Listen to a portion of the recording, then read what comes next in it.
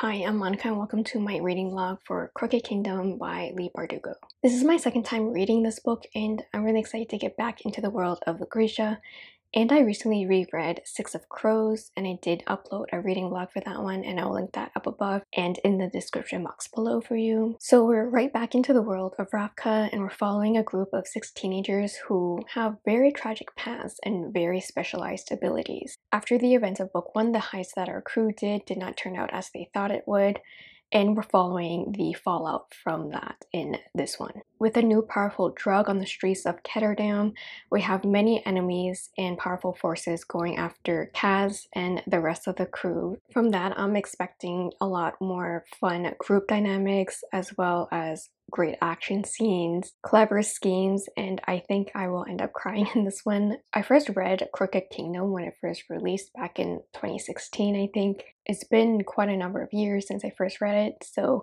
really excited to see how I react to it. And this vlog will have spoilers, so let's just get right to the vlog portion. Alright, for my first check-in, I am 20% of the way through and around page 100 of Crooked Kingdom. So far, this book definitely takes on a darker tone than Six of Crows. After the fallout with the heist, we do see there's an air of desperation to get Inej back from Van Eck. And with the current state of our characters, we have Kaz trying to get Inej back, no matter the cost to him.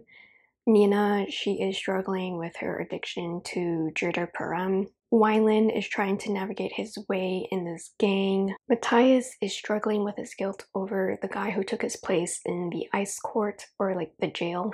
And he's still very much in love with Nina. Jesper is meeting up with his father and trying to figure out how to get money to help his dad out. We do see where Inej is at the moment, and she's very resilient about figuring out how to escape her prison but with Inej, she really does realize and still from book one, she still thinks that Kaz only views her as an investment, but to be honest, it's not her fault because that's the only thing that Kaz gives out to her. So my heart breaks for Inej in those instances where she's like, I'm only good because of my skills and Kaz only wants me alive because I am the Wraith. Because with Inej, she really is a key figure to get information and infiltrate into really hard places.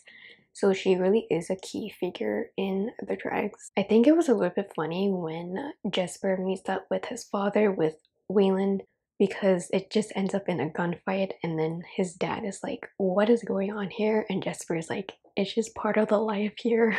but I'm happy to see that there is presence of at least one alive parent in YA fantasy book. And so far, I'm still very much enjoying Crooked Kingdom and I'm excited to see what happens next. So I'm checking in at around a 60% point of this book. I am on chapter 23 and around page 300. And by this point, we have saved Inej from Van Eck and everyone's happy that she's back. And I really like the nice hints here and there with the slow build-up of the relationships in the group as well as with the friendships, but mainly focusing on the romances, especially between Wylan and Jesper, Kaz and Inej, Matthias and Nina.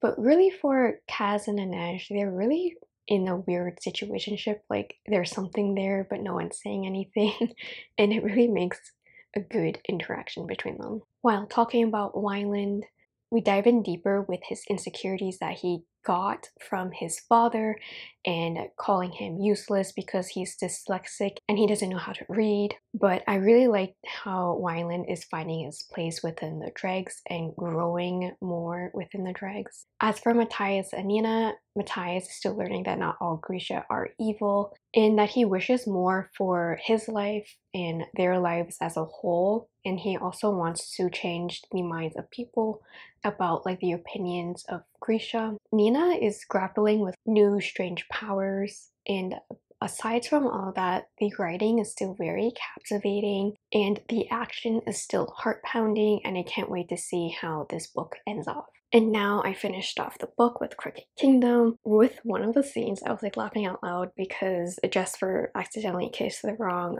Kuwei and he meant to kiss Wylan, but with them looking identical, he couldn't really spot the difference and I, I found that really funny. And I also really love the appearance of some Grisha characters with Nikolai, Zoya, and Genya. And it's always nice to have fun cameos in other book series, especially when it's part of a contained universe. That reminds me that I really do need to read the King of Scars duology ASAP. In this last portion of the book, we do get that beloved Kaz and Inej bathroom scene. I just love these two so much. It really is a slow burn between these two and it's done so well. Especially with Kaz slowly getting his guard down and him realizing that the dregs are more so family than just a group of friends when he accidentally calls Jesper by his brother's name. So I'm really liking that Kaz is showing that he does care and he slips up sometimes. Also with Jesper's father, Colm, he's a very fun addition to this book and it's really nice to see that addition of a parent and appearance of a parent in a YA fantasy series. And I really love how Wylan is finding his place within the crew, especially with like the final big action sequence at the end of the book. It really wrapped up everything nicely at the auction with that long-term con that they're playing against Van Eck and the rest of the enemies. The payoff and the build-up was very well done and I was really engrossed while reading those last couple of scenes. I did end up tearing up a bit at someone's death that we do get at the end of the book, and it was really, really sad.